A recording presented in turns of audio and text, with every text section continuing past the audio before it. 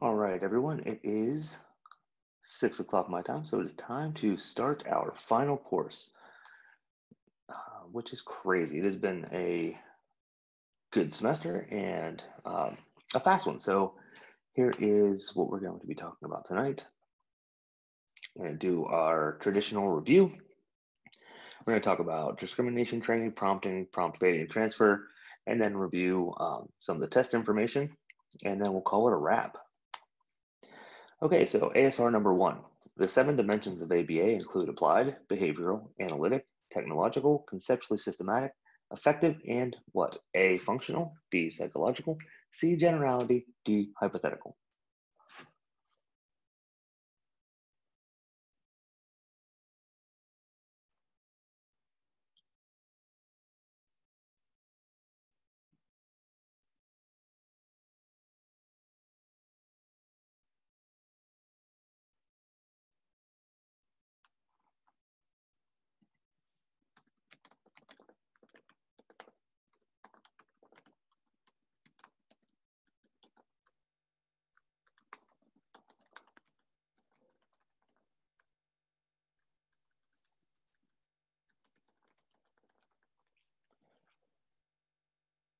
And the correct answer here is C, generality.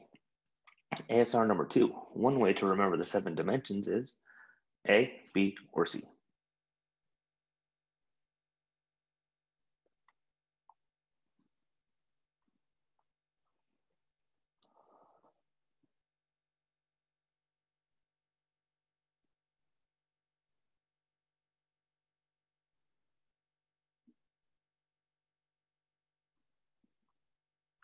And the correct answer here is C. ASR number three, the dimension of behavioral includes A, observable and measurable responses, B, precise definitions that describe behavior and not an outcome, C, document that the participant behavior is changed, D, all of the above, or E, A and B.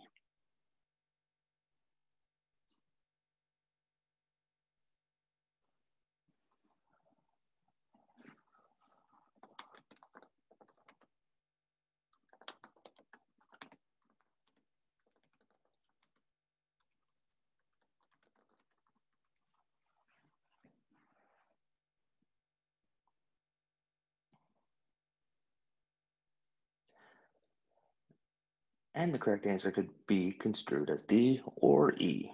You could make the argument that C could potentially fall under a different dimension, but D would also be acceptable. ASR number four, applied refers to A, social significance, B, doing things, C, observable and measurable, or D, repeatability.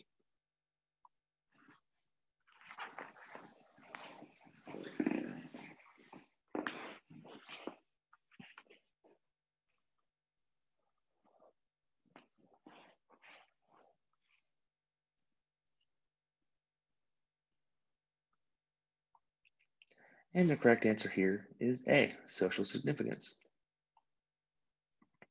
ASR number five, technological refers to A, socially significant, B, doing things, C, observable and measurable, or D, repeatability.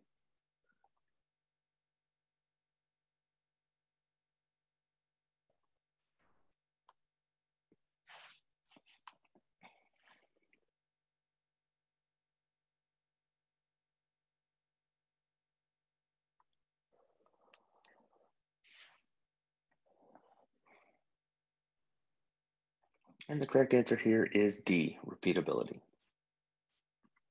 ASR number six, conceptually systematic refers to A, interventions that come from behavior analysis, B, enables consumers to derive similar procedures, C, assists in integrating a system and not a collection of tips, or D, all of the above.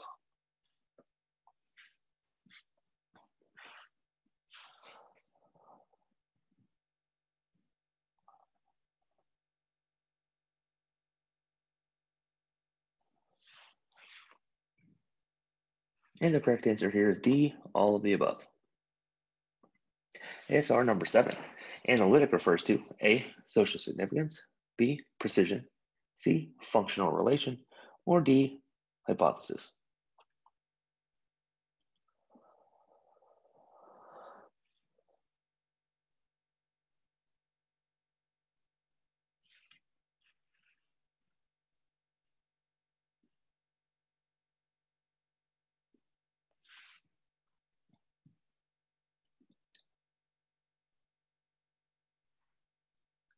And the correct answer here is C, functional relation.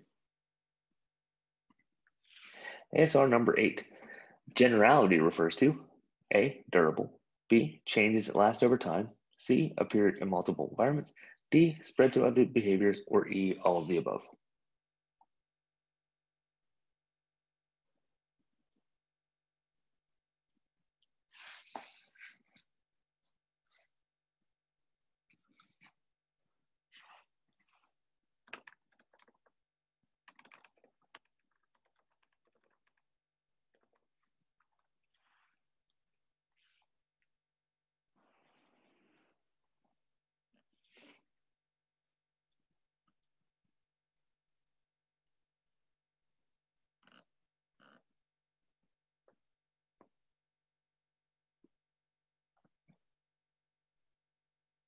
And the answer here would be E, all of the above.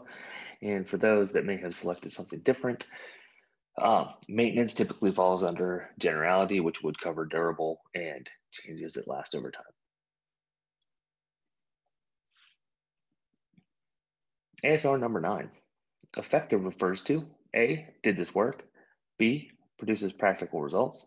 C, must reach clinical or social significance. D, noticeable change. Or E, all of the above.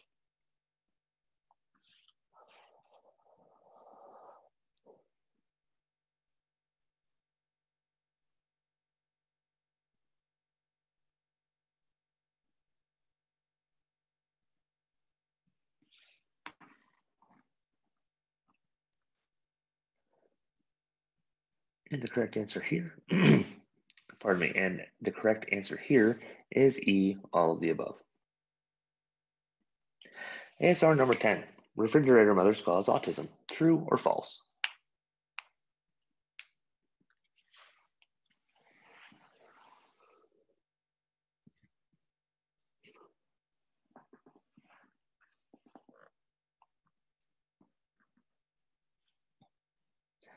And the answer here, of course, is false. ASR number 11, school district staff can diagnose a student with ASD, true or false?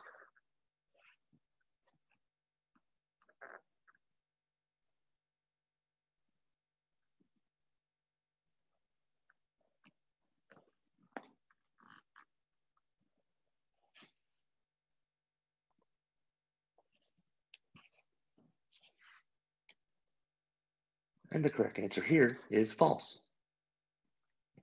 ASR number 12, learners who receive 25 to 40 hours of one-on-one -on -one treatment are receiving what type of treatment? A, focused, B, comprehensive, C, paraprofessional, or D, discrete.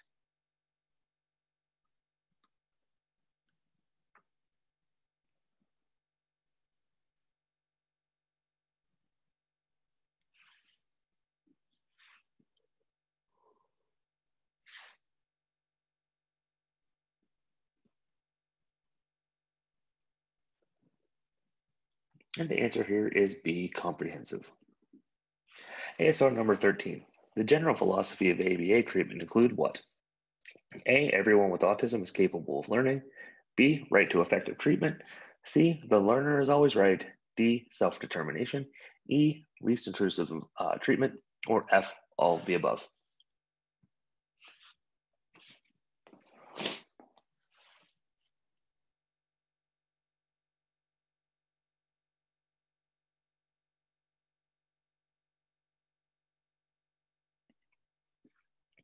And the correct answer here is F, all of the above.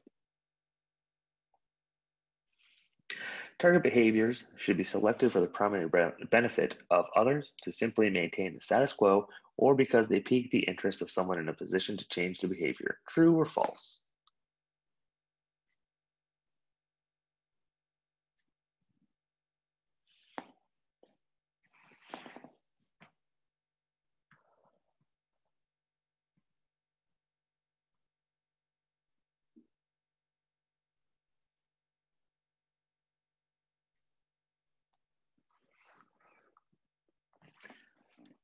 And the correct answer here is false. ASR number 15. A good operational definition should be able to pass the what? Eyeball test, dead man's test, stranger test, or standardized test.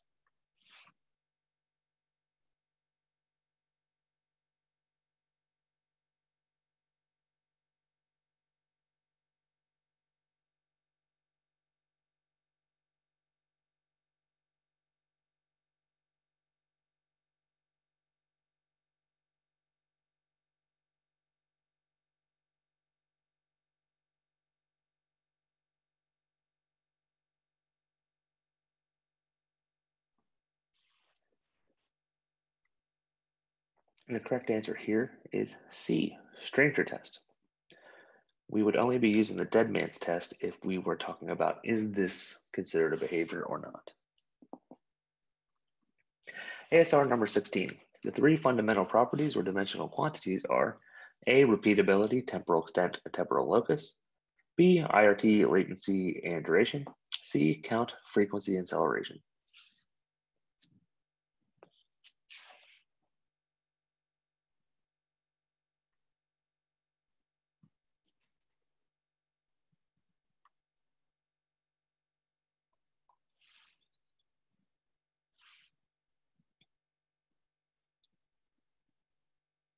And the correct answer here is A, repeatability, temporal extent, and temporal locus. ASR number 17. Social negative reinforcement is also known as A, attention, B, tangible, or C, escape.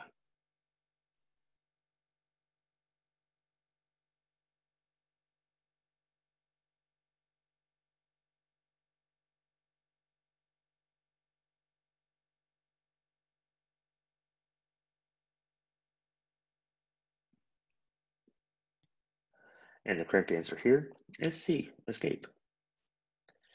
ASR number 18. Automatic positive reinforcement depends on the action of others, true or false.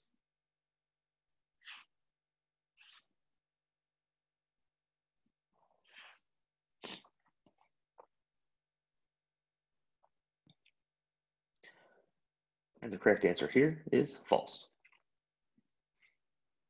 ASR number 19. Social positive reinforcement is also known as A. Attention, B. Tangible, C. Escape.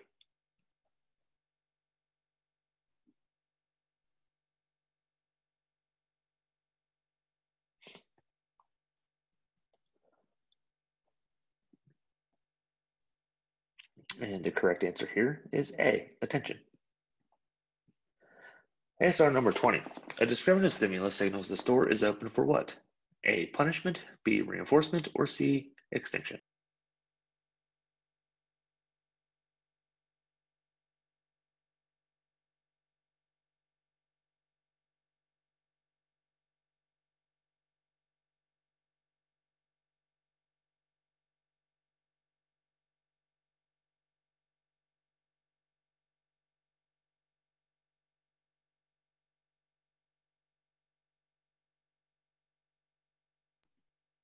The correct answer here is B, reinforcement. ASR number 21. FBA interventions can consist of at least blank strategic approaches, A6, B3, C2, D9.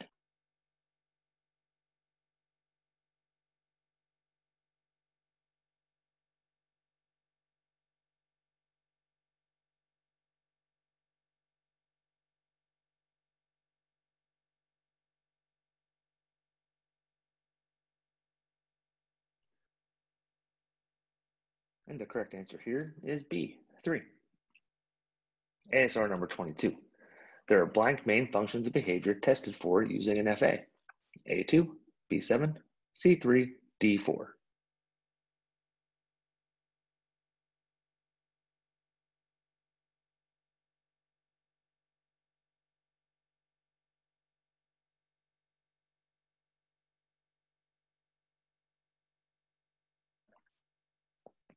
And the correct answer here is D4.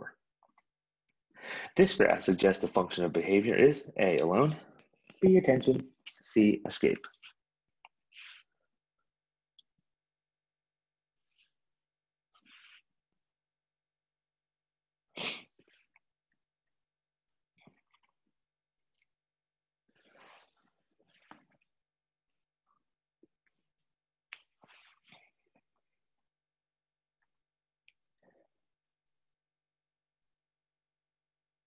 And the correct answer here is C, escape.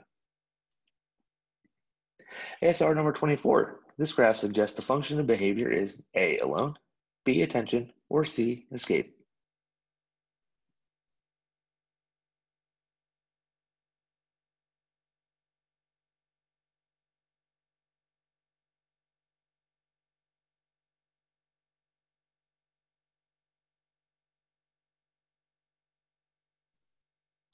And the correct answer here is B, attention. This graph suggests the function of behavior is A, alone, B, attention, or C, escape.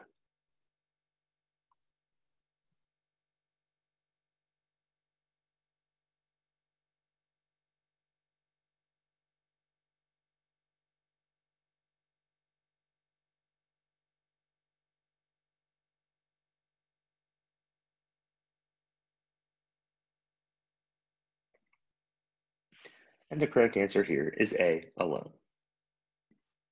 ASR number 26. There are how many basic schedules of reinforcement? A3, B6, C4, D5.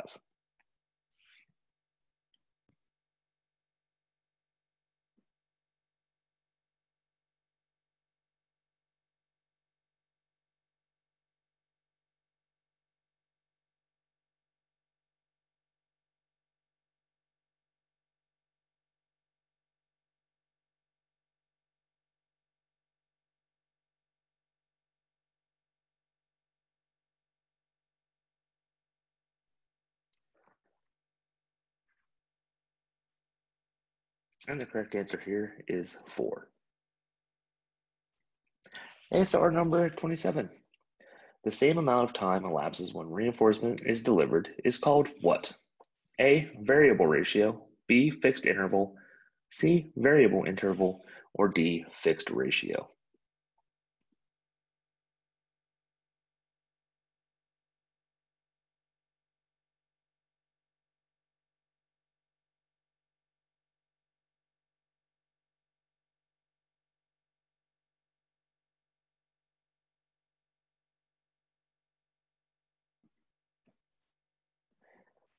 The correct answer here is B, fixed interval.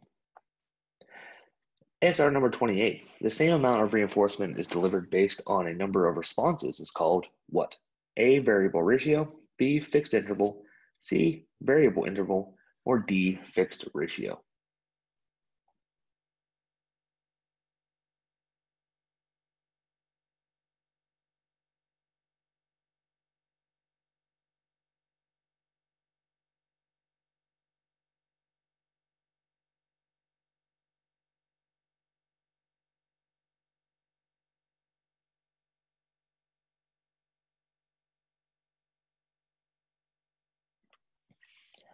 And the correct answer here is D, fixed ratio.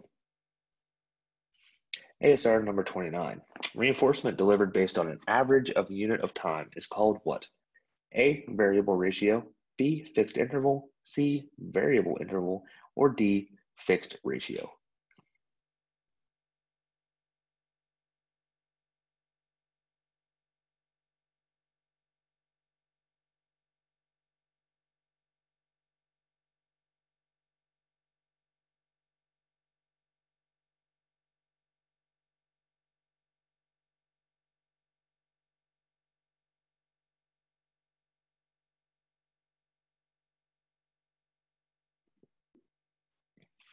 And the correct answer here is C, variable interval.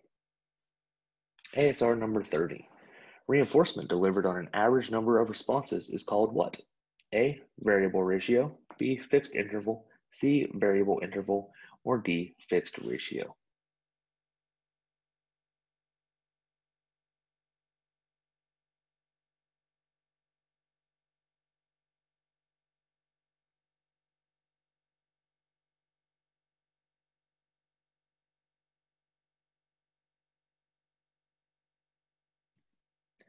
The correct answer here is A, variable ratio. ASR number 31. The theory that reinforcement must be worth the effort is called what? A, Stranger test, B, Deadman's test, C, matching law, or D, Newton's law.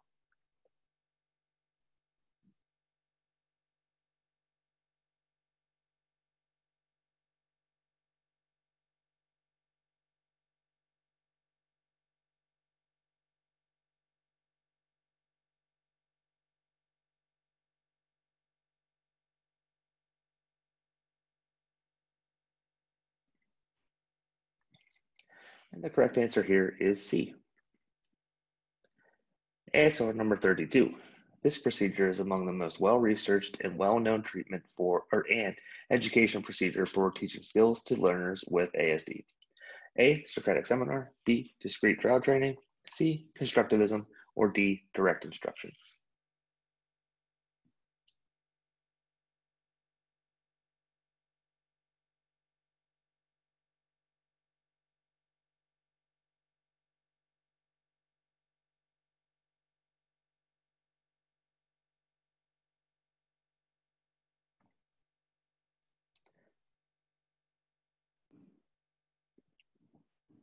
And the correct answer here is B, discrete trial training. ASR number 33. The process and product of reducing a complex behavior and sequences of behavior to their component elements is called what? A, shaping, B, backward chaining, C, task analysis, or D, forward chaining.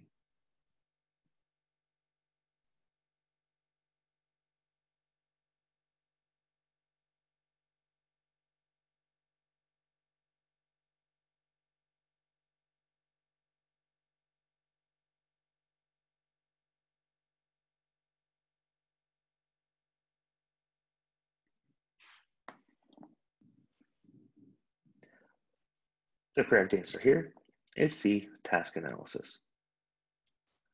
ASR number 34, the component parts of a task resulting from a task analysis that resemble the terminal behavior along some meaningful dimension that, when properly sequenced, lead to exhibition of the terminal behavior. Is it A, task analysis, B, successive approximations, C, scaffolding, or D, chunking?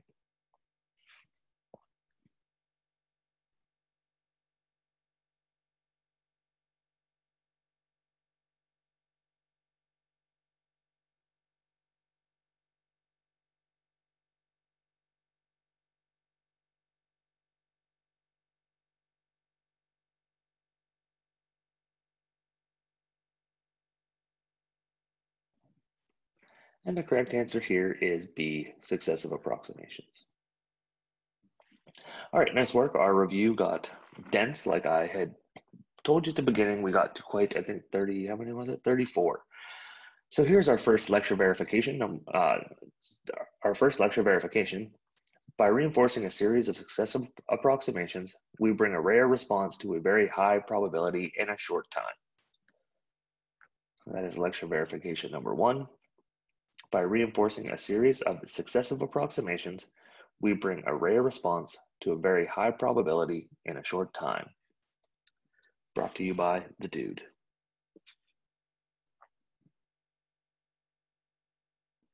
I'll give you a moment to write that down.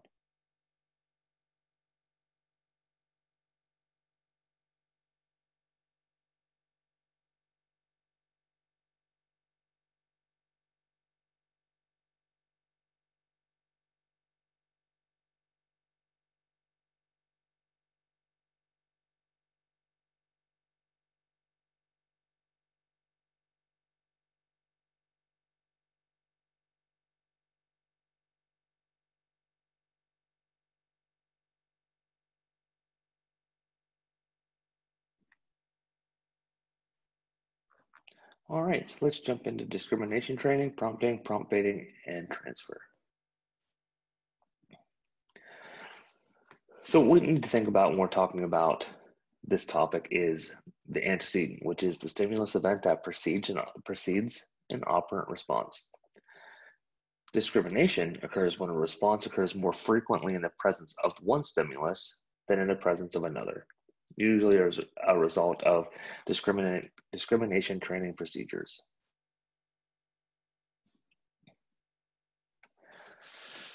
Uh, stimulus control, the behavioral principle around this or events consistently present are present when a behavior is reinforced and become cues that set the occasion for the behavior. Further, discrimination occurs when a specific behavior follows a relevant cue and generalization occurs when an irrelevant cue produces the same behavior. And here is an example of that if we're looking at our three-term contingency. If we are looking at an A, B, C, so we have A, our antecedent condition, you are not talking to anyone. The behavior is you picking up the phone. The stimulus would be the phone ringing or the phone being silent on this bottom end of our contingency. We follow the top line of the contingency. So you're not talking to anyone. The phone rings, so there's a stimulus. We pick up the phone and you talk to someone. We have A, B, and C. And if talking to someone is reinforcing for you, the next time that the phone rings, you will pick up the phone. We have our condition here on our, our contingency here on the bottom line, and it starts off with the antecedent. You're not talking to anyone. The phone doesn't ring, but you pick up the behavior. The consequence of that is that you are not talking to anyone. There's no one on the other end. So the next opportunity when the phone doesn't ring, you're not going to pick up the phone.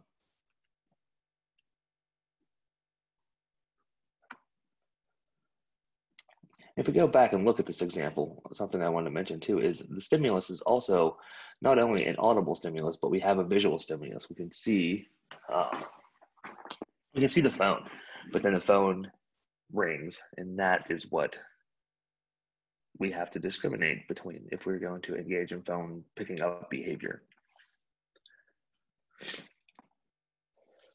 Um, another uh, example of that is if we look at this uh, guacamole example. So your friends are mildly complimentary of your cooking skills. You have hard avocados, you make guacamole, your friends deride your cooking skills. The next time that you have hard avocados, you won't make guacamole because it doesn't make good guacamole. If we look at the bottom or the lower part of this contingency here, again, your uh, friends are mildly complimentary of your cooking skills. You have soft avocados, so you make guacamole. Your friends are stoked on your guacamole. So the next time you have soft avocados, you'll make guacamole. And we can see the discrimination here.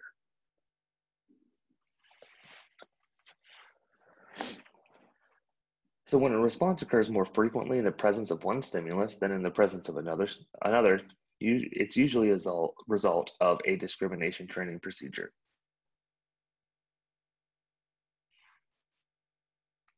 I have to apologize for the pauses. I have terrible allergies today, so I do apologize. So if we're talking about discrimination training procedures, we have a discriminative stimulus. If we're looking at a uh, teacher student or learner therapist example, we'd have the teacher or therapist asking a question. The operant response would be to answer a question and positive reinforcement, the teacher smiles and praises. And that is how the uh, discrimination training goes. And the reinforcement strengthens that behavior. We've talked about discriminative stimuli. Uh, the stimulus that sets the occasion for the behavior signals that the store is open for reinforcement. We also need to remember what the what an S delta is. So a stimulus in the presence of which a particular response will not be reinforced. Uh, an antecedent that does not serve as an appropriate cue for the behavior. So if we think back to the guacamole example, and if we're the S delta in that instance would be the avocados that are not ripe, that are hard. Here we see another example. This is an animal example. So we're looking at bird behavior. The antecedent here would be that there's no corn available to the bird. The discriminative stimulus for the bird would be the bird sees a target. When the bird sees a target, it pulls a string and corn is delivered as a reinforcement for the bird engaging in the string pulling behavior when it sees the target. Looking at the lower contingency, still the antecedent is no corn. The bird sees a man or woman or person, which would be an S delta. If the bird engages in, uh, or sorry, the bird wouldn't even engage in the string pulling behavior because it has learned over trials to discriminate uh, when to engage in behaviors. So when a bird sees a person, that is an S delta to the bird. It does not engage in the behavior because no reinforcement is available. The store's closed for reinforcement and no corn is delivered.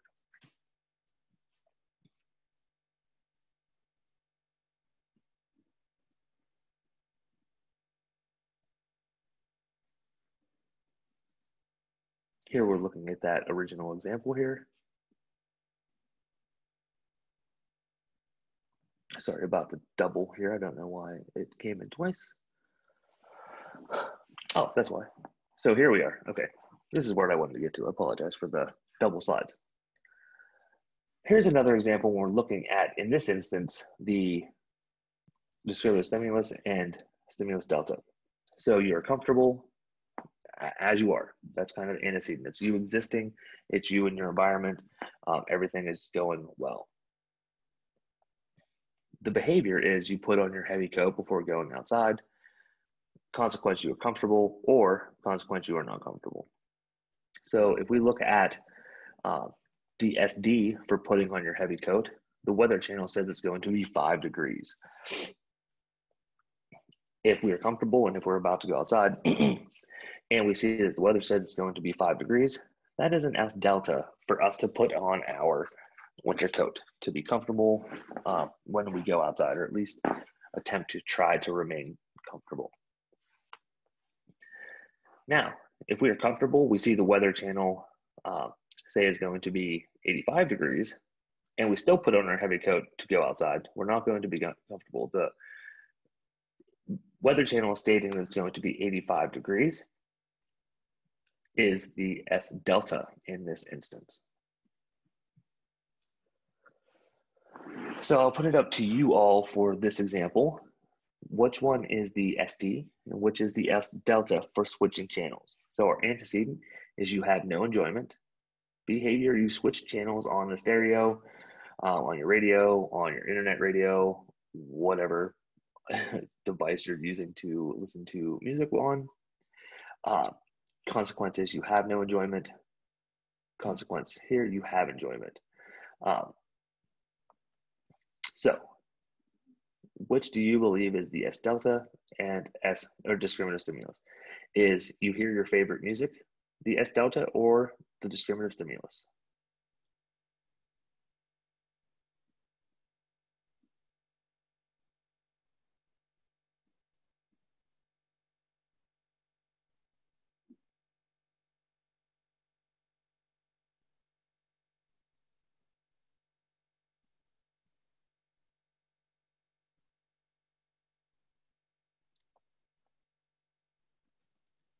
All right. So if you think about this, okay, so the S delta would be you hear your favorite music, right? Because if we hear, if we're listening to our favorite music, we wouldn't switch stations, right? And we'd continue to have enjoyment. We wouldn't even have to engage in uh, behavior of changing the channel or the station. Uh, the discriminative stimulus in this instance is you hear music you do not like. And when you hear the music you don't like, that would signal, hey, I want to change this song because it's terrible, and I want to listen to something that's not terrible so I can have some enjoyment.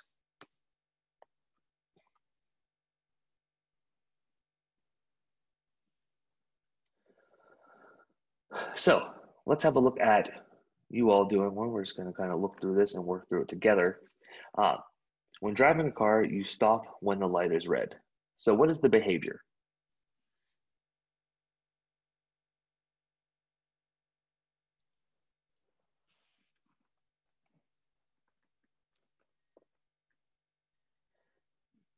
It is the car stopping behavior.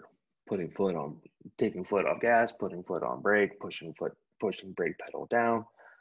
What is the antecedent condition of the behavior? What is the antecedent to the stopping uh, behaviors?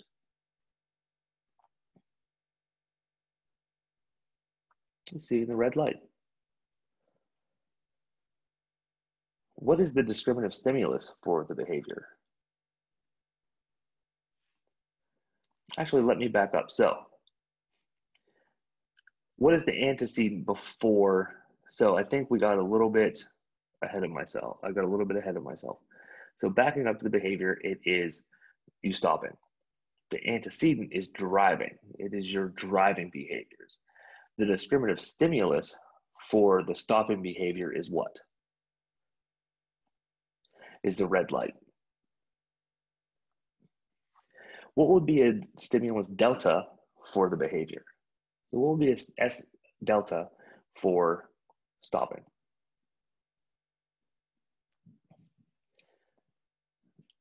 It would be the green light, and potentially, depending on the state that you live in, the yellow light. When I lived in Utah, there was a thing called the Utah yellow, and it just meant hammer down if it's yellow. That's it's still green essentially.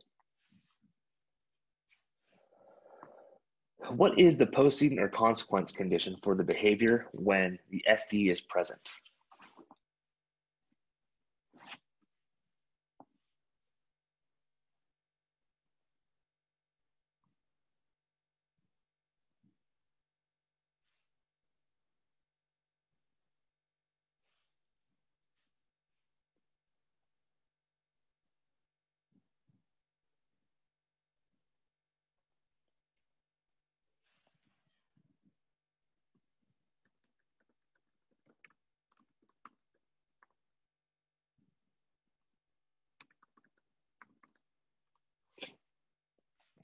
So the S, uh, I'm sorry, the postcedent or consequence condition for this would be uh, you're safe, you're stopped, no accident, no ticket, uh, things like that. What may be a postcedent condition for the behavior in the presence of an S delta?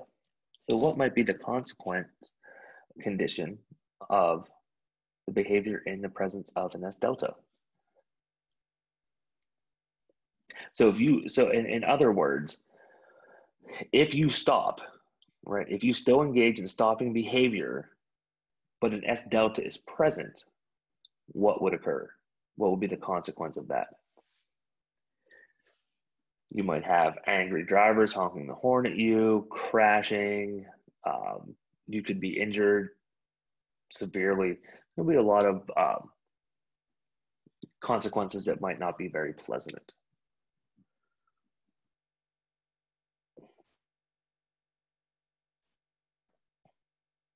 So if we look here, we put this, these questions, right, these prompts in to our contingency.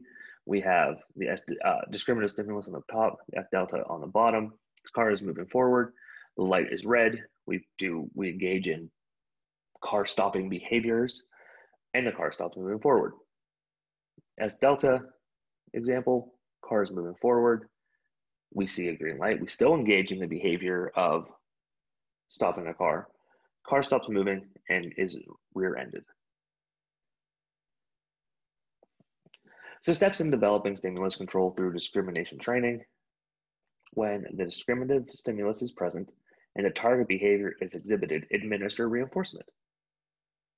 When S delta is present, or any other antecedent where the behavior would not be appropriate, and the target behavior is exhibited, do not administer reinforcement, withhold reinforcement essentially putting that behavior on extinction by withholding reinforcement. Uh, it's important to remember it is the consequence um, or postcedent to the behavior that affect whether or not the behavior is repeated in the future. And I'm not sure how many of you have heard of Chicken Camp. Um, I have yet to go to Chicken Camp, but this is uh, something that is on my ABA bucket list. I want to go to chicken camp. There's a couple different chicken camps now throughout the country, and it is my it is on the bucket list for me to go to chicken camp and train chickens. I want to do this uh, very very badly just because it looks like a blast. I'm going to show you. I think it's close to a 10 minute video on chicken camp. It's a cool video. I think it's. I think this is a longer one. Um, and they're engaging in discrimination training with this chicken. And there are several really cool videos of chicken camp on YouTube or whatever other platforms are out there. Um, but uh, and it's pretty cool. So we're gonna watch this video on chicken camp.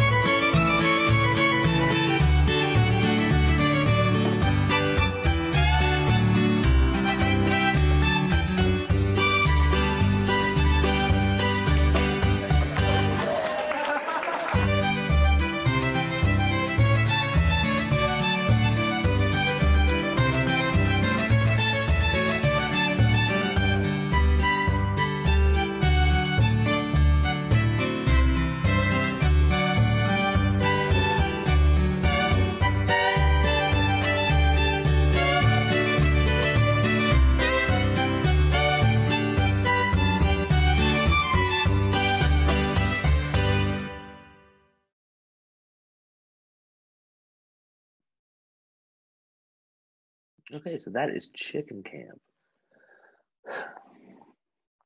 So here's some different, uh, so if we look at, so essentially what they're doing is engaging in discrimination training with the chickens and, and at chicken camp, teaching them to peck different lights, different, um, there's another one, I don't, I might have missed it when I was typing in the chat. I don't know if I saw it in the video. Um, where they teach chickens to select different colored discs as well. So uh, chicken camp looks cool. I really want to go. Um, but if we look at a an example of this, uh, with a we could have a bird or whatever it might be. Um, our contingency on the top would be no food pellet is available. A red light is flashed. The bird pecks a specific key. Bird receives a food pellet. Next time the bird sees a red light, the uh, bird will peck that specific key. That would be the contingency that would get the bird reinforcement. If we look on the bottom, no, no food pellet is available, green light or any color that is not red. The bird pecks a specific key, no food pellet or reinforcer is delivered. Outcome, in this instance, pigeon training, pigeon learns to discriminate when to peck specific keys to receive food pellets.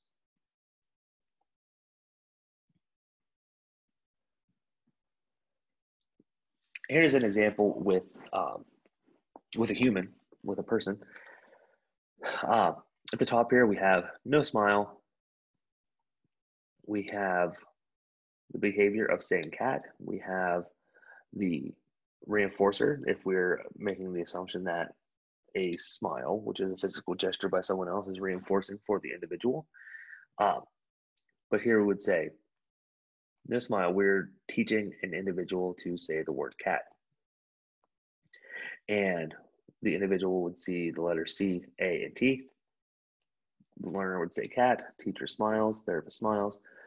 Um, the next time this contingency is in place, if smiling is reinforcing for the student, the saying of cat behavior would continue.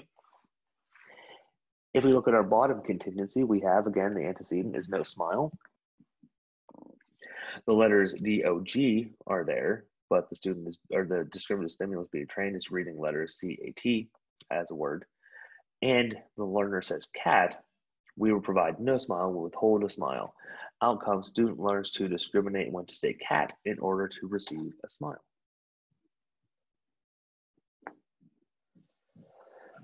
Um, here's an example of stimulus control for a punished behavior. So the antecedent would be there's no pain in mouth. The behavior is takes a bite of hot food.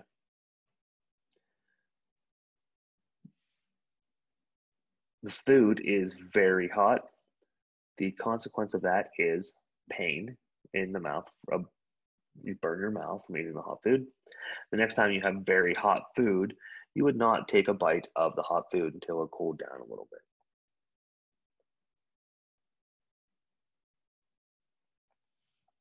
So now we also want to talk about prompting. Um, a prompt is an added stimulus that increases the probability that the SD will occasion the desired behavior. Prompts are not discriminative stimuli. That's a common um, error. Prompts should be used only when the, the natural discriminative stimulus has failed.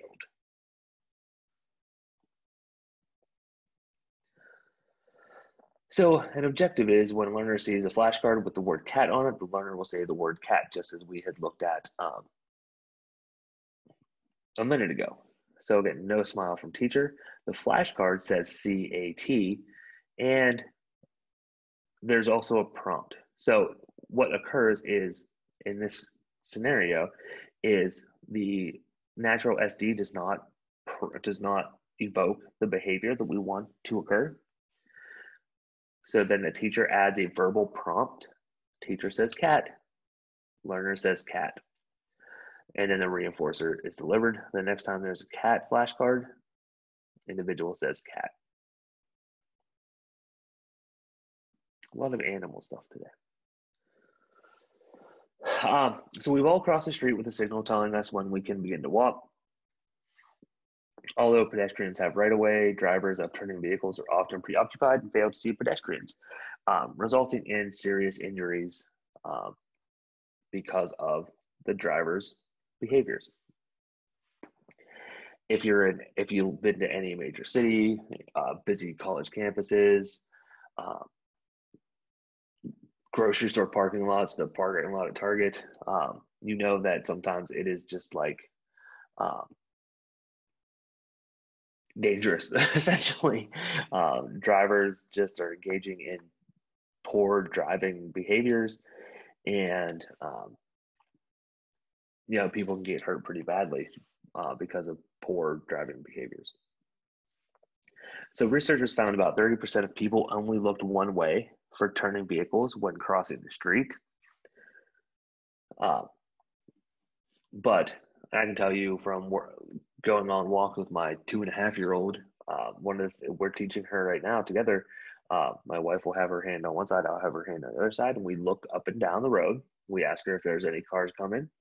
She says yes or no. We look again. We double check to make sure she's correct, um, and then we proceed so what these researchers did is they took um, advantage of one of those first rules that you teach kids about traffic safety um, and how we could use or how they rather how they could use uh, that behavior of looking back and forth. How could we pro- how could they prompt that? So using the left to right response that individuals are taught early on as kids the researchers prompted people by adding a pair of animated eyes that look left and right just above the walking figure on the signal. And it resulted in it, and the results were that it was an effective prompt because it reminded people to look left and right before prompting. So, uh, even though it was the driver, it's typically driver behavior because pedestrians have right away. The idea in this project or this uh, study was to work on pedestrian behavior to help them uh, engage in more safe road crossing behaviors. so when we're thinking about prompting, there is a hierarchy for prompting. You have most to least and least to most. Um, you can either go from most, which would be full physical prompting, all the way to the least, which is a natural cue, or you can go the other way uh, down the hierarchy from natural cue to full physical. We'll look at this a little bit in, more, in a little bit more detail. Uh, so again, here's a different way of looking at this type, the types of prompts and levels of intrusiveness. We have the natural cue, which would be an environmental scenario, um, what you would naturally naturally uh, come into contact with. It is the minimal or uh, least intensive level of prompt. Then we have gestural, which could be physical or audio, which is a low level of uh, prompt. Verbal, instructions and roles, moderately low level of intrusiveness. Visual, pictures, checklists, symbols, gestures, moderately high level of prompt intrusiveness. Modeling, higher level, and then full physical, uh, partial or full um, would be the most intensive level of prompts. And that is where you're physically assisting or helping an individual go through the behavior by putting, uh, by guiding them physically or partially, fully or partially. Gestural prompts are any body movement of one person that leads to the correct behavior in the presence of a discriminative stimulus of someone else. The prompter does not demonstrate the entire behavior. We're not modeling the behavior, we're just providing a gestural prompt. Um, could be a, a, point or something like that. If you're pointing at something. Uh, modeling prompt demonstrations of the desired behavior by one person, the model, that leads to the correct behavior in the presence of the discriminative stimulus of another person. Uh, the model is complete replication of what the observer is to do. Um, when we're thinking about modeling, we have to make sure that we have taught imitation behaviors to the learner we also have to consider when doing learners, if uh, I'm sorry, when doing modeling, if we are not being the model, if we're having someone else be the model for our learners, we have to train that individual uh, so that they know, so we know that they can do whatever it is, whatever task or skill it is to mastery, they do it correct all the time. And we have to teach them how to teach and model the behavior. So there's a little bit more work on our end if we are teaching someone else to be the model. Uh, the reason we would typically have someone else be the model is sometimes um, the best model is someone who is a same age peer as the learner or is someone that is familiar to that person. Uh, we can definitely be models as BCBAs, BCABAs, RBTs, but sometimes if that's failing, we might think about doing some type of peer modeling strategy. There's physical prompting, so physical guidance, physically assisting or putting someone through the behavior in the presence of a discriminative stimulus. Used after other forms of prompt have failed. Typically, we'll want, we want to go from that, that hierarchy, we want to go least to most. Then we need to transfer stimulus control by using prompt fading. And that's where we're gradually eliminating response, response prompts um, you can do this through decreasing assistance or fading in, because you can also fade in, in by increasing assistance. Uh, and then prompt delay, delay presentation of the prompt after the discriminative stimulus is presented. And you can do this in a couple different ways. So we're going to see a couple examples of this. It is a progressive time delay and a constant time delay. Prompt fading, so the response prompt is gradually removed across learning trials or reduced over time. And again, there's the two types, decreasing and increasing. Depending, so if you're going most to least prompting, we would be just decreasing the prompts. If we're going um, least to most, we would be we would be increasing the prompts.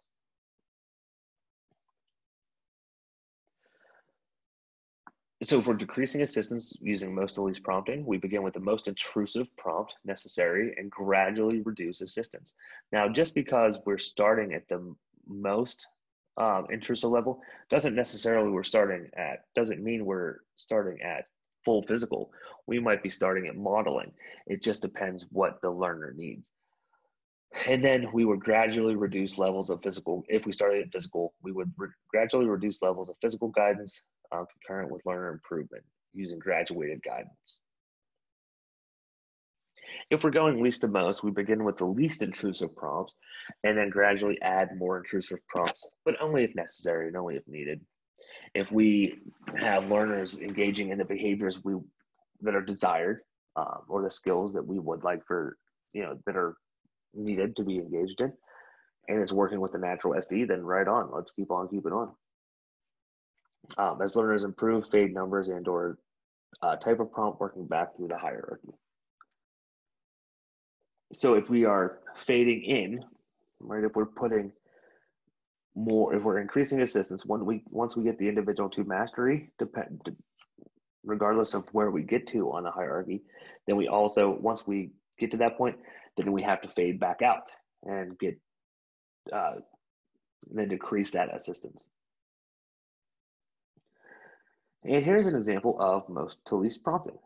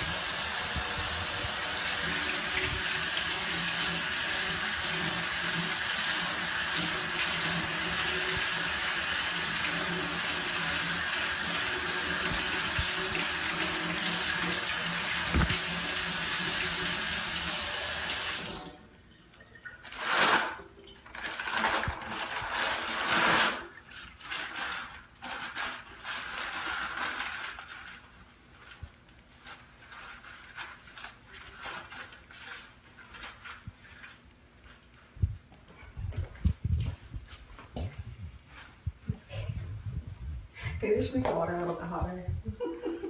Just.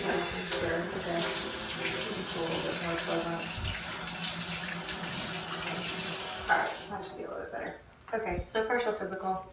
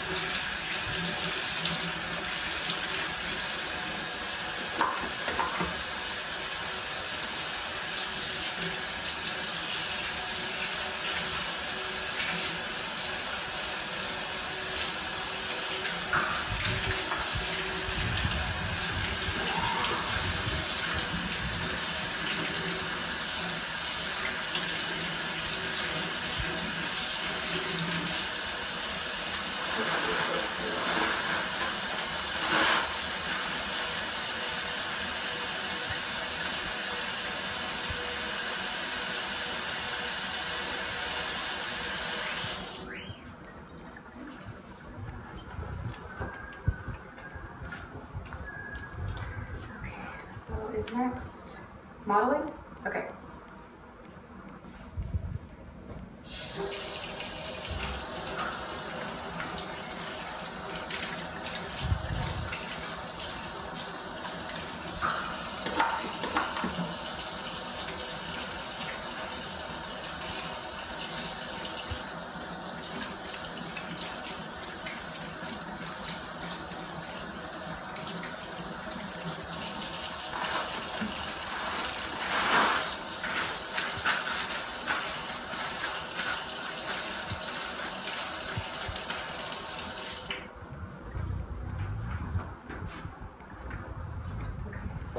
Gestural prompt, do you want me to just um, do like an initial gesture or should it be kind of gesturing throughout, like to point to the soap, point to the paper towel? Throughout? Okay, cool.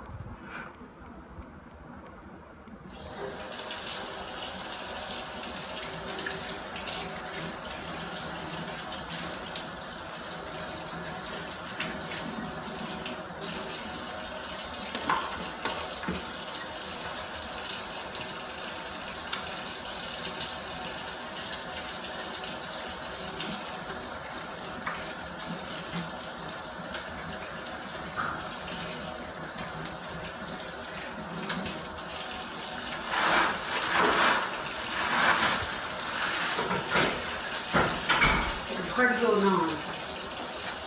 What's this doing? Nails.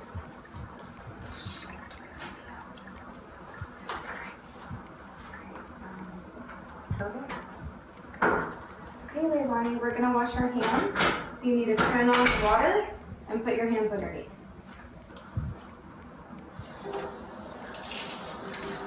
And you can rub them together.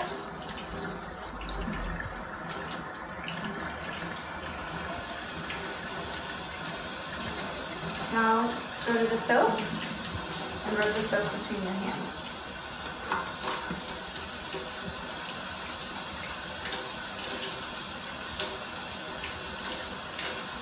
Okay, now you can rinse the soap off using the water.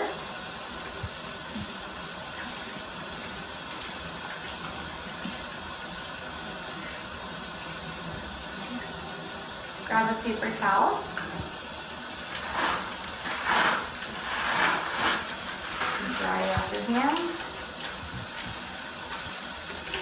Now using the paper towel, you can turn off the faucet and then go throw the paper towel away. Great job. Yay.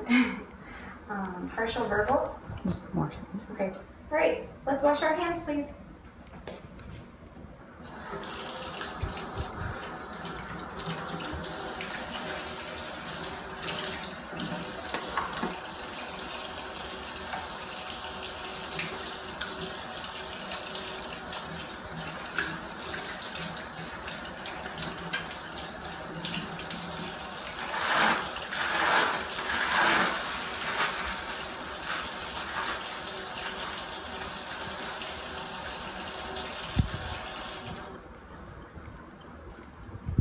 Great job, Leilani.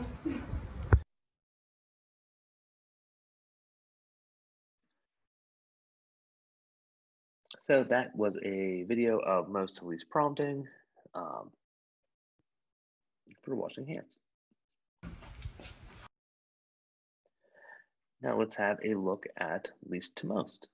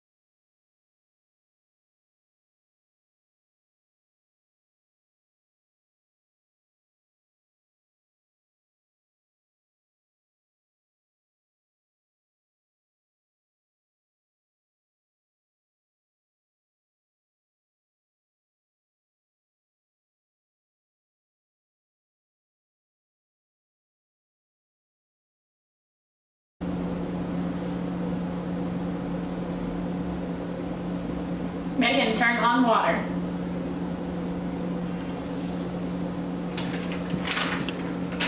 Turn on water.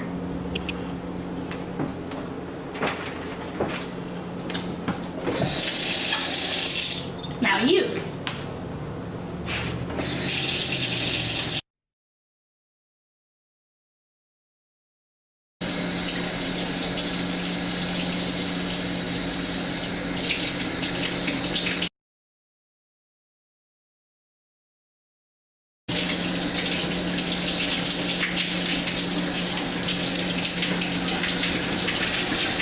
Get soaked.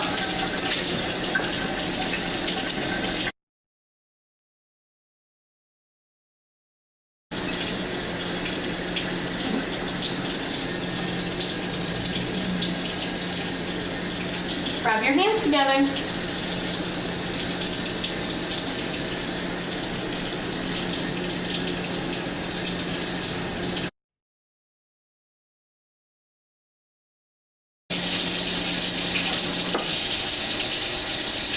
Rinse hands.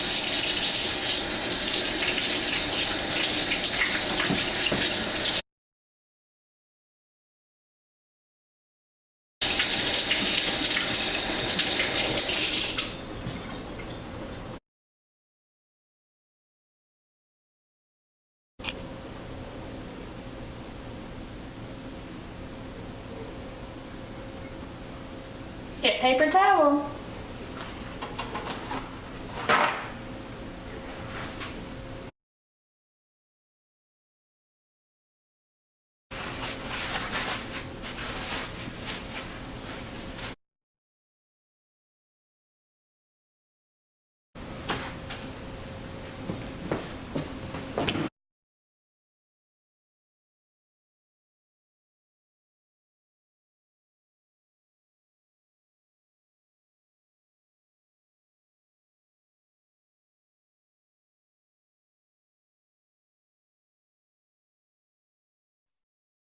Okay, and that is least to most. Um, so something else we want to look at is prompt delay, which is the delayed presentation of, of the prompt after the SD is presented. the form of prompt remains the same. The thing that changes is the time between the prompt and the presentation and the prompt. There are two ways to do, to do this. You can do a progressive time delay, which is the interval before the prompt gradually increases, or a constant time delay, where the interval before the prompt remains the same. So naturally, the next question typically for most folks is, what's the optimal time delay? And there's really no clear-cut consensus on what the optimal time delay is, but general rule of thumb is you can be begin with a two second interval. And it's easier to see, I think it's easier to see a lot of these things than me trying to explain them. So I'm going to show a video of a progressive time delay.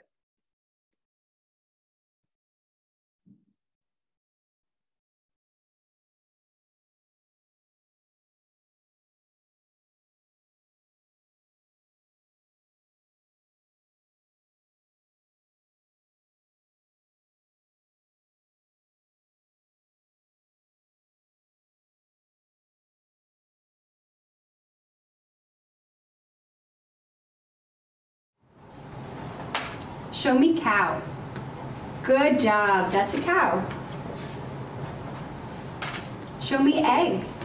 Amazing. That's right. Those are eggs. Show me fork. Fork.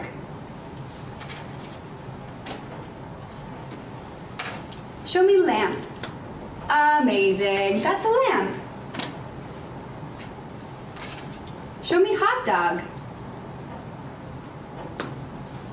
This is a hot dog. Show me toothbrush. Great job. That's a toothbrush. Show me cupcake. Amazing. That's a cupcake. Show me elephant. Elephant. Show me hamburger. Perfect. That's a hamburger. Show me hairbrush.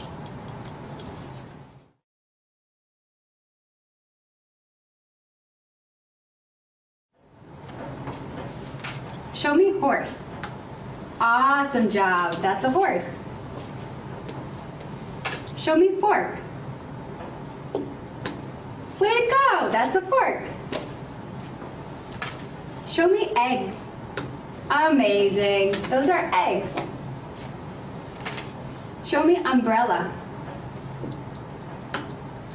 Umbrella. Show me hot dog. Hot dog. Remember, if you don't know the answer, you can wait and I'll help you. Show me keys. Keys. Show me grapes. Grapes. Remember, if you don't know the answer, you can wait and I'll help you. Show me elephant. That's right, elephant. Show me hamburger. Great job, hamburger. Show me hairbrush.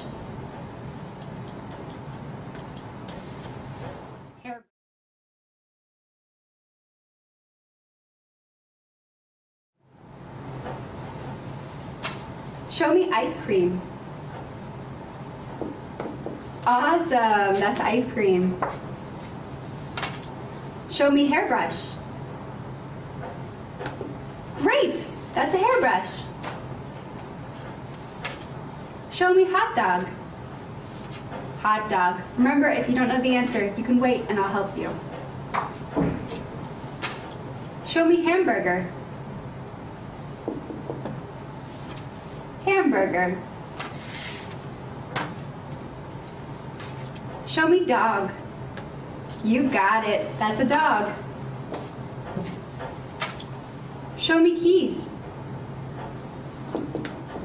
Super. Those are keys.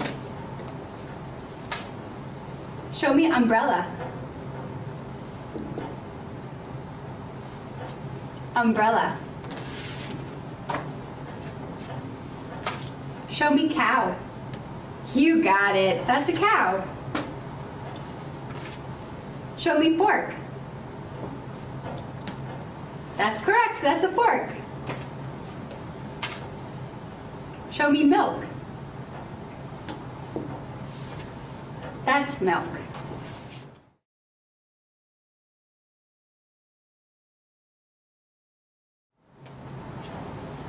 Show me milk. Amazing. That's milk. Show me fork.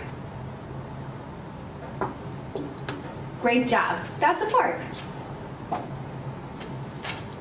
Show me horse.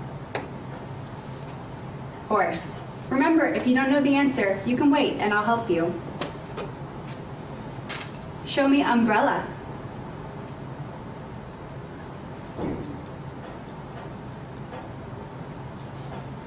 Umbrella. Show me keys.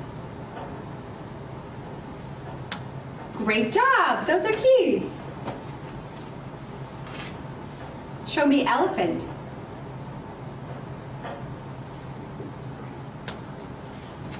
Elephant. Show me hamburger. Way to go. That's a hamburger. Show me donut. Awesome. That's a donut. Show me pot. Pot. Remember, if you don't know the answer, you can wait and I'll help you. Show me grapes. That's right. Way to go. Those are grapes.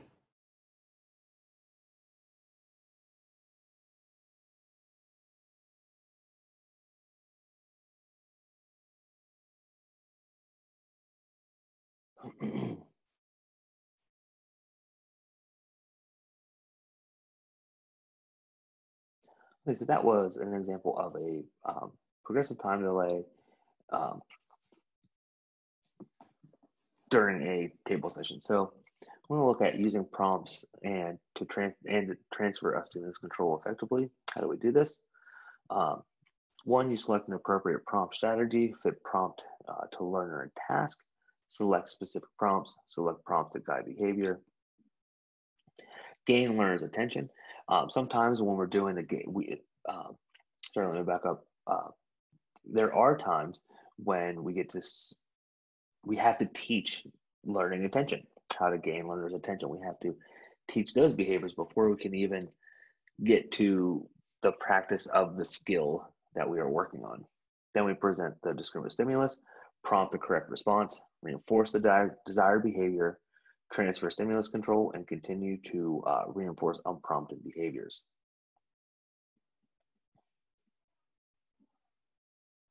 Hmm, sorry, I'm looking through something. I thought I had a fixed time delay in here, but I don't believe I do, so my apologies. Um, so what we want to talk about next is stimulus control maintenance and generalization. Um, this is something I'm I really am into as far as my research and my work is generalization practices and maintenance practices. It is something that I think we as a field do very poorly. And when I speak, when I say we as a field, I'm talking about um, professors in behavior analysis and special education as well uh, that are doing research and that are preparing the next generation of behavior analysts and, and, and people that work with individuals with disabilities. I think we do a poor job of training you all to focus on generalization and maintenance. Um, and that is a problem. Uh, Stokes and in 1977 have an conduct wrote an article called um, "An Implicit Technology for Generalization," which uh, outlines how to do generalization and maintenance. Um, it was it's been it was talked about then. Um, Scheeler and colleagues in the 2000s. I'm spacing on the dates. I want to say 2007 or eight, but I I don't recall off the top of my head. Uh, looked at how do we generalize teaching behaviors in special education, and then Markelz, Riden, and Scheeler um, also looked at this at uh, how professors at universities are teaching individuals to generalize. Um, and we found it is very bad um, when we did our research article on it. But it's really important um, to program for generalization and maintenance um, at the jump before we even start doing interventions. And that's, I think, where there's a problem, right? I think, and I've witnessed, I'm not just like saying this anecdotally, that generalization and maintenance are an afterthought and we do them at the end. Um, researchers and practitioners, we do these things as an add on towards the end, and it should be something that's focused on from the beginning. There are a couple ways to look at generalization and maintenance stimulus generalization, response generalization, and uh, response maintenance. And we're going to look at these um, individually. Uh, so when we talk about stimulus generalization, it's the expansion of a student's capability of performance beyond those conditions set forth initial, uh, for initial acquisition. Exhibition of behavior in the presence of all relevant SD outside the training situation. And to put it just bluntly or generically, can this student or learner perform under conditions different than those in a training where those skills were taught or where they were trained? Um, so an example of this, and it, this is one of my favorite examples ever because it it it hit me in the feels essentially, as they say. Um, so when I was a special education teacher in Colorado, I worked in the Vail Valley near Vail Ski Resort. I lived actually directly across from Beaver Creek Ski Resort, which was amazing. And when I arrived in Colorado, they had had asked me if I'd be interested in doing this thing called SOS at the time. SOS stood for Snowboard Outreach, um, Snowboard Outreach Society, I believe it was. And what the SOS did is that they identified through school records and and things like that, um, students from low SES backgrounds, students that had um, office referrals, uh, students that were struggling academically, and we had these lessons that we would do before school started, um, like right before homeroom. We would do them right after. Um, yeah, we know. I'm sorry. Yeah, we would do them right before the bell uh, for homeroom. Really short uh, lessons that focused on courage, discipline, integrity, wisdom, compassion, and humility. And if students came to the lessons every day, they earned their free ticket essentially, and it was free to them. We would go from our school, Gypsum Creek, um, in Colorado, and a, a, bus would take us up. The public bus would take us up to Vail. The only cost of the students was the three dollars that it cost to ride up and back. So it was a buck fifty up and a buck fifty back um, to ride the bus to Vail. Uh, they got free lift tickets, free lessons, free equipment rental. Uh, uh, they also had to bring money for food or bring a lunch. But if any of you are skiers or snowboarders or, or mountain folks, um, you know that a day on a on a, a just a lift ticket to Vail is two hundred dollars. Just a lift ticket. That doesn't mean, or is it? It's up there. It's like one fifty. It's something absurd how much they're charging now. But then you add rentals and all that stuff regardless, they did all these things. They got that stuff for free, which is great for them because this is something that not many of them, even though they lived in the Vail Valley, got to do. Um, and we had been teaching uh, that week's lesson was um, compassion. And like I said, these were some kids that had not had these experiences and they would go off with their lessons with the instructors. I'd go take a couple hot laps and then come back and then ride with them, and then go take a couple laps and then go ride with them. And then we'd all meet up for lunch. So I'm sitting at the the one lodge where we'd all meet up for lunch, and I'm sitting on the deck waiting for my students to get there. And I see this little girl who's not part of our crew, uh, just like dragging her skis and her hat's all a mess and helmet's all off to the side, and her poles are falling down, and she just fell and dropped all her stuff, which was very sad. Right? super sad. But what I saw was two of my students come like running from out of nowhere it seemed and help pick her up and dusted the snow off of her, get, picked up her stuff, gave her her equipment, helped and actually helped carry some of her equipment over to where she was heading to, to where her uh, family was. And like I'm standing on like the balcony, like trying not to like scream, like yeah, because I was so stoked on what they were doing. But what what happened was that they generalized the behaviors and stuff that we talked about during the lessons at school and they took them to in the training setting they took them to the natural setting which was just so cool so um, that's what we want to see when we're doing work with people and when we're training new skills that, that they learn them in one setting and then they use them somewhere else and that's the point if we only train students to do or learners or students to do things in one place well, what the hell is the point, right? Because we need to be teaching them to be doing these things in different places. And if we're not doing that, we've failed as behavior analysts. Uh, there's also response generalization. So that was, that's, uh, let me go back. So that was stimulus generalization. So response generalization is changes in behavior similar to those directly treated. Um, it occurs when behaviors change that were not specifically targeted in the original intervention program. Um, so an example, I had a student that loved biting. He was a pincher as well, but I could deal with that. Um, I just I can't stand being bit. It's not pleasant. It's not fun. Um, so I put a reinforcement schedule in that reduced the biting.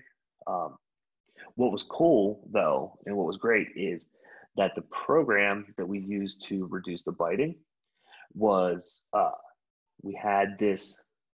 It also reduced his pinching behavior. So it the response is generalized to other behaviors and both um, aggressive behaviors reduced, which is fantastic if you can get that. Uh, response maintenance, the occurrence of behavior over time.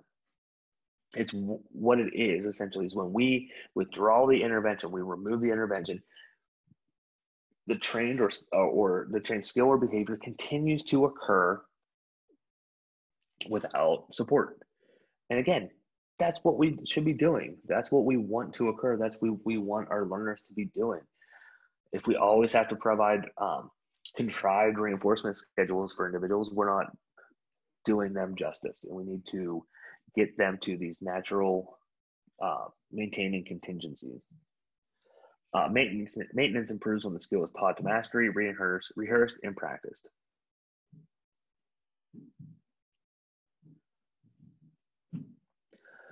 There are eight strategies for promoting generalization, and these are things that need to be thought about at the jump. Again, like when before we start putting in behavior intervention plans, we need to consider consider how are we focusing on how are we focusing on generalization. So the considerations for target generalizable behaviors uh, teach skills that are socially valid. So not only are they socially valid for the individual, they will also be recognized and reinforced out in the natural setting. Teach a range of functional equivalent behaviors instead of hitting, yelling, crying to escape a task. Teach a student to raise hand, ask for help, ask for different tasks. We've talked about functionally equivalent behaviors. Uh, incorporate valid, valid, relevant stimuli in the training setting. So make sure that the, the, approaches that we're using in the training setting mimic uh, or are valid or relevant, that they actually mean something to the learner. Incorporate common stimuli. So stimuli that they will encounter, uh, common stimuli they will encounter in the natural setting. And use indiscriminable contingencies. So um, we want to think about using those variable schedules where the contingencies are not so predictable. Reinforce occurrences of generalization of the target behavior. So when we're seeing students generalize their behaviors in different settings, uh, we need to provide that reinforcement. And one way we can do that is by recruiting relevant stakeholders to engage in that reinforcement of generalized target behaviors outside of the training setting. Encourage natural contingencies of reinforcement and discourage natural uh, punishment contingencies. And incorporate learner generated mediator, mediators of generalization and what those are stimuli maintained and transported by the learner as part of training. Um, some examples of this and things that I have done research on are uh, behavior contracts, daily behavior report cards, and uh, self monitoring, uh, self reinforcing, self checklists, and things like that that they can take with them from the training setting and take them out to the natural setting and um, use them to generalize behavior.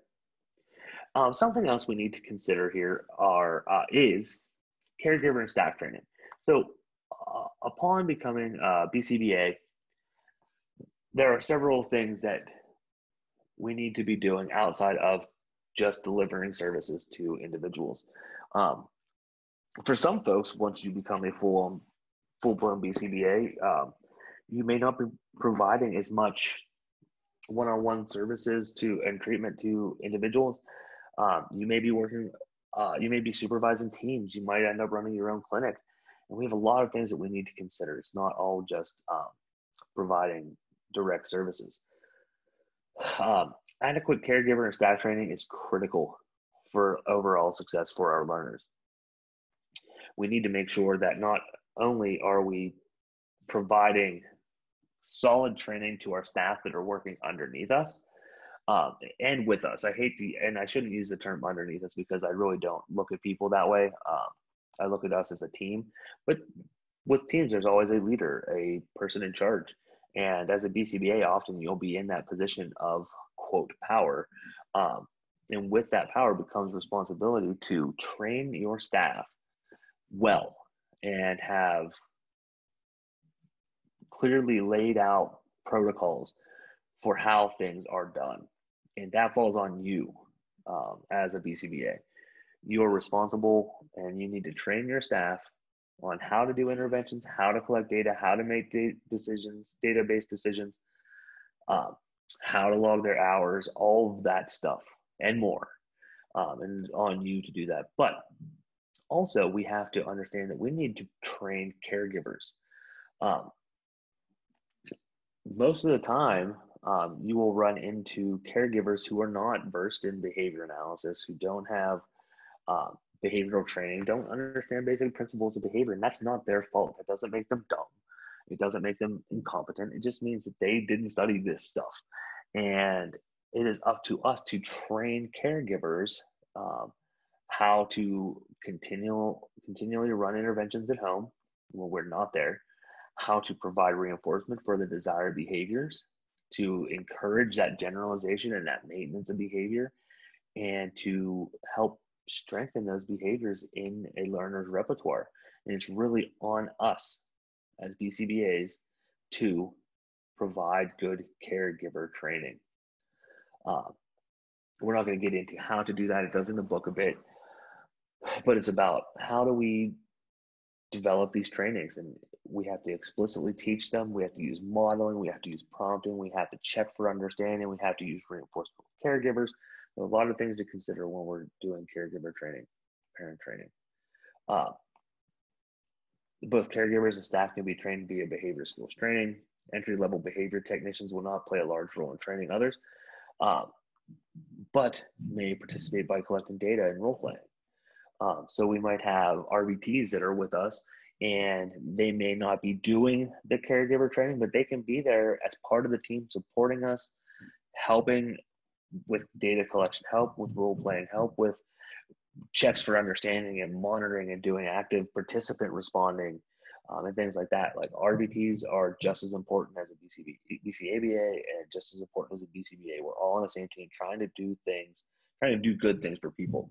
Um, I'm not a big fan of thinking, oh, hey, look at me, Mr. PhD BCBA. I'm way smarter and cooler than you, um, little RBT. That's not the way I operate. Yes, there are people out there like that, but I think they're stupid. Um, and if you're one of those people that are doing that, stop doing that. Don't be stupid. Um, as behavior techs gain experience, they may start taking on a little bit more respons- more responsibility in those trainings. Um, so doing some modeling, as I mentioned, for uh, and training caregivers and staff while under the supervision of a BCA, a BCBA. Being a professional, I take so I mean we've been together now for seven weeks. Yeah, um, some of us, you, some of you have me in other classes. I think you can kind of pick up on my style. I'm more laid back. Um, you know, I'm a fan of treating everybody like they're adults and like you do your stuff, you'll be fine. If you don't, natural contingency, no points for you. Um, I don't really harp on people. I don't badger people. That's not my style. Um, but one thing I do take, like, so at the beginning of this, I told you about like the plagiarism and fraud, plagiarism and fraud thing. Like, I take that very seriously. I also take being a professional very seriously. Um, I just do it with my style. But um, when you're writing documentation, when you're making documentation, when you're writing reports, use professional language. Um, really practice that. I, I can't emphasize that enough. When you're doing assignments for UWF, practice writing with professional language, and I will uh, commend you all do a great job with this. Uh, but really think about how you communicate um, while being while you're a student here at UWF because what you're doing is you're practicing this professional language. And and that doesn't just mean in your FBAs and behavior intervention plans but I'm talking about emails assignments discussions. Start honing that skill of using professional language in your reports. And I'll tell you uh, a story. So when I was a student uh, taking behavior analytic coursework to sit for the exam I was taking an assessment course and we were doing FBAs and FAs, and I um, was writing up an FBA, and I was in a I was in a home setting working with a student with autism in a home setting, and um, the family was great. The kids were great, um, but the family was a little um, unorganized and I used the term disheveled in my report, and I didn't when I wrote it.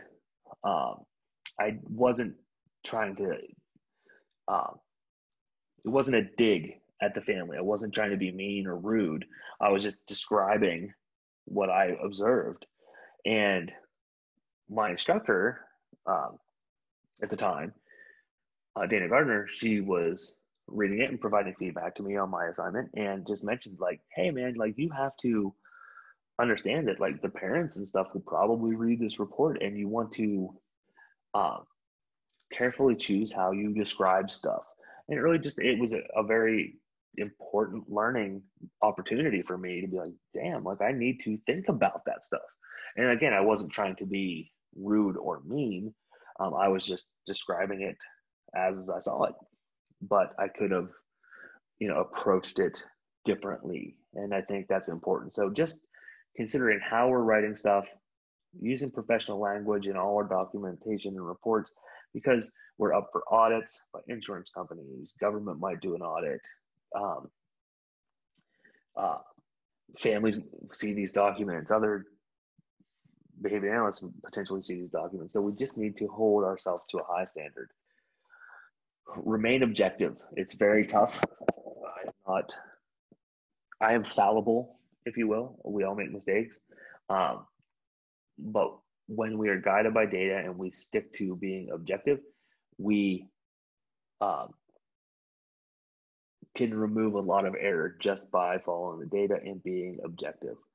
Um, be a good teammate and a leader. Uh, and this includes talking with parents. Um, there are a, couple, a bunch of different types of parents. There are there's the term helicopter parent, where the parents are always there. Uh, parents who people perceive as being absent.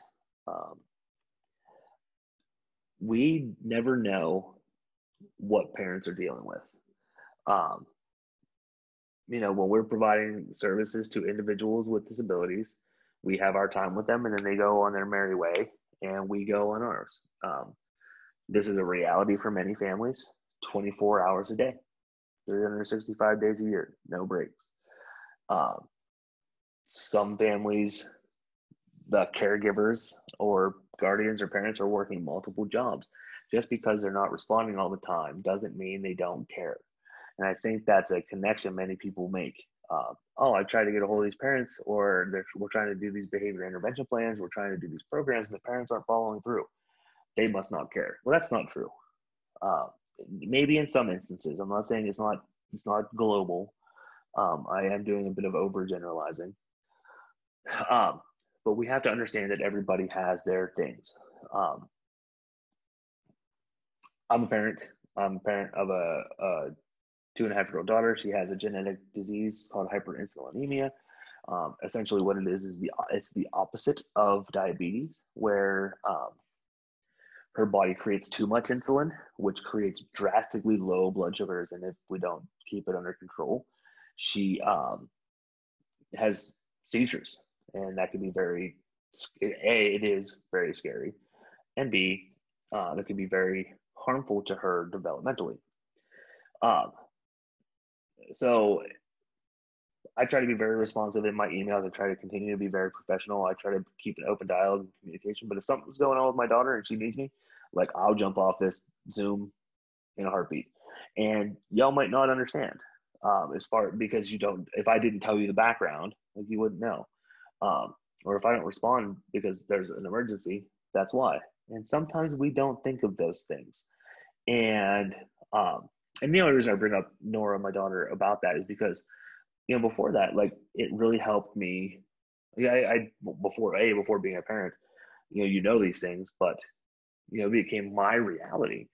Um, and it's something I need to practice. Like you just never know what someone else is going through. So um, being a good teammate is part of um, understanding what other people are going through. What you're, if you are running the show, what your employees are going through if you are an employee what just uh, being a good person like essentially don't be a jerk um, and be considerate of other people and what's happening and uh, all of those things. Be aware of state and federal laws and this stuff changes often. So you need to be you need to check the you need to be continually monitoring the pulse of state and federal laws in regard to aba and providing services. Uh, that might include getting on listservs, governmental websites, um, social media, reliable social media groups. that are tuned into those kind of things. Getting involved with your state level ABA communities as well as your uh, national uh, ABA communities is very also very important and helpful when it comes to the changes in laws.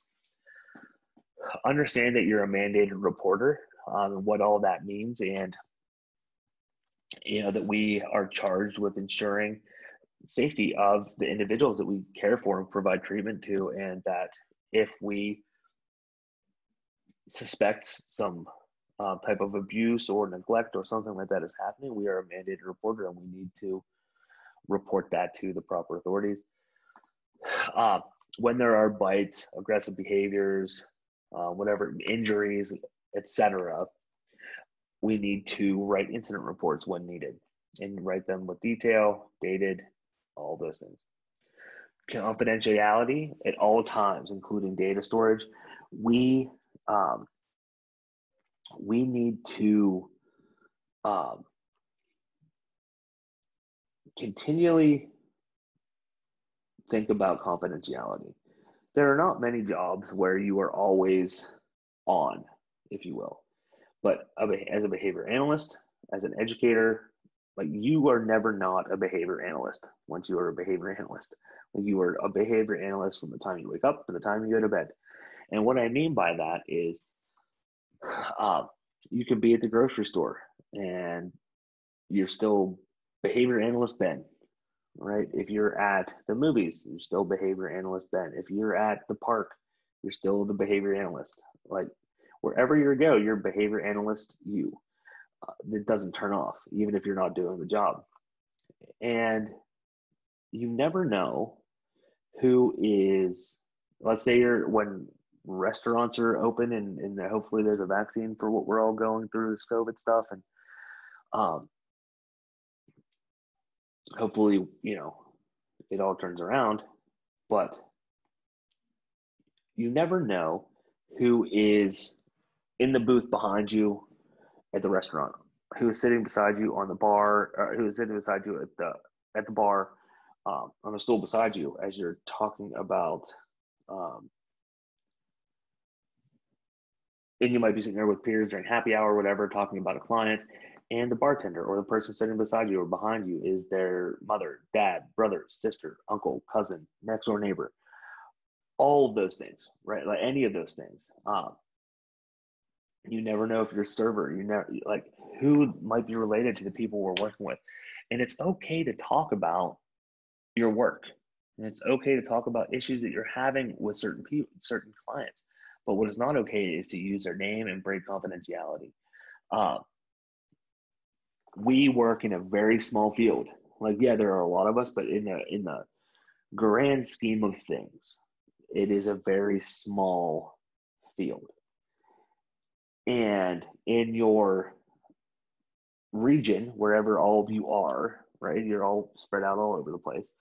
But um, in your region, like there might not be a ton of behavior analysts. So it wouldn't take someone a ton of sleuthing, if you will, to figure out who you're talking about. Um, so it's really just important to monitor yourselves continuously about confidentiality. Like I'm kicking myself right now because when I was telling the story about um, my snowboarding uh, thing, I used the name of the school that I taught at. Like I try to do a good job. Things it slips. Um, you have to be very careful um, you have to be cautious. You have to continually monitor yourself. Um, and not only is that about just your verbal behavior, but that comes with um, your hard um, permanent products, your data stuff. Uh, really be cognizant of where your files are, how you're locking them up at night, where you're storing them, where you're keeping them. Um, pro tip for you all do not leave files, laptops, iPads, or anything in your vehicles. Like, don't leave them in there.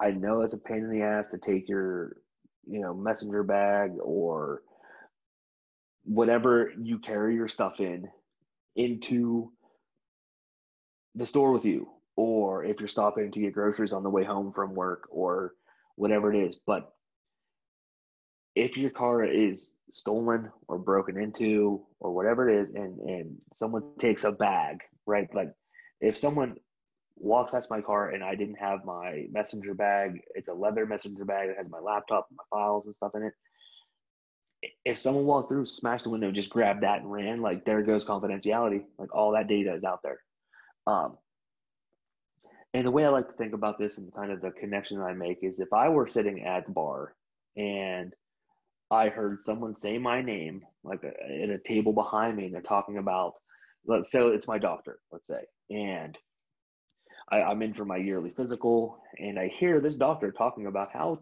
terribly terrible Ben's health is. Like that's that's awful. Like that would I would feel violated. I would feel embarrassed. It would I'd be pissed. Like there would be so many emotions, and like no one wants that to happen to them so we have to do a good job as behavior analysts to protect the confidentiality of the people that we uh, that we are trying to help. Uh, know the code, be the code. Know about ethics.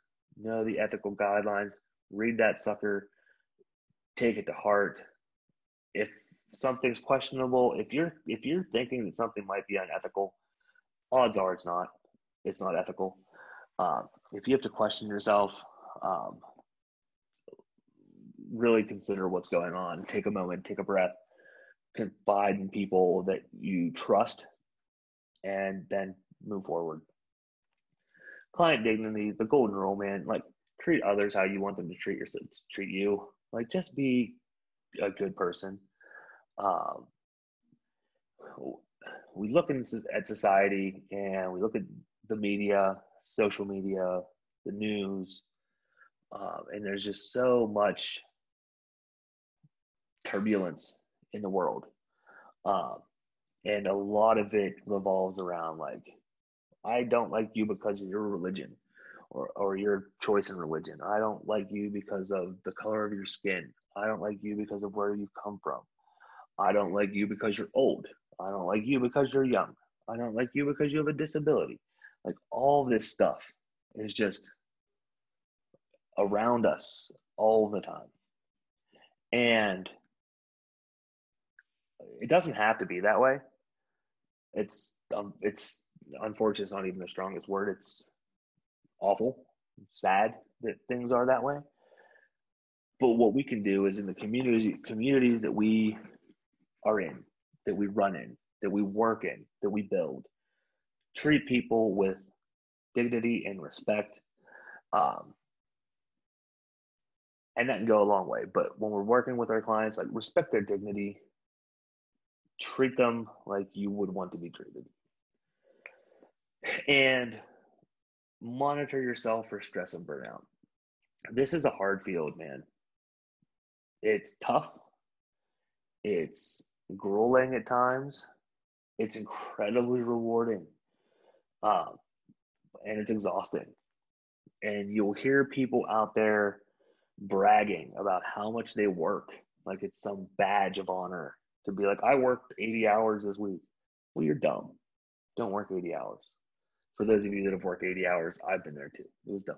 I shouldn't have done that. Um, you need to find positive ways to engage in self care and plan that stuff and like put it in the calendar. Like when I was going through my doctoral program, it was really challenging and I had to put in a lot of work uh, hours at work and in the office and like I scheduled like dates with my wife. Like we're going to go to the movies.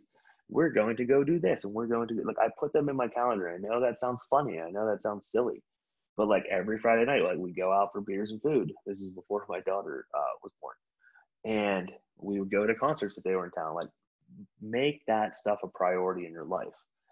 Uh, find positive outlets meditation, yoga, riding your bicycles, going for a walk, watching football, watching golf, watching my wife and I, I should just throw her under the bus. We both watch crappy reality TV. Um, whatever it is, you know, going to the beach, whatever your thing is, like take that, embrace it, and don't be ashamed by that. because taking care of yourself will allow you to take care of others and will reduce that stress and burnout.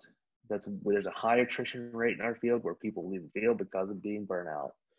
And if we're going to combat combat that, um, we really need to take it take be mindful of our own health and our own mental health.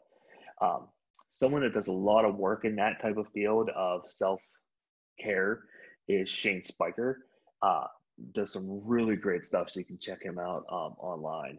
Um, if you're on Twitter, he has a handle on there. I forget what it is off the top of my head, but he does a lot of self care stuff, and it's really cool stuff. But just yeah, Shane Spiker, take really good care of yourself. Be mindful and don't be ashamed about that. Um, learn how to say no. Don't say no all the time. No one likes that. No one wants to work with the person that says no all the time.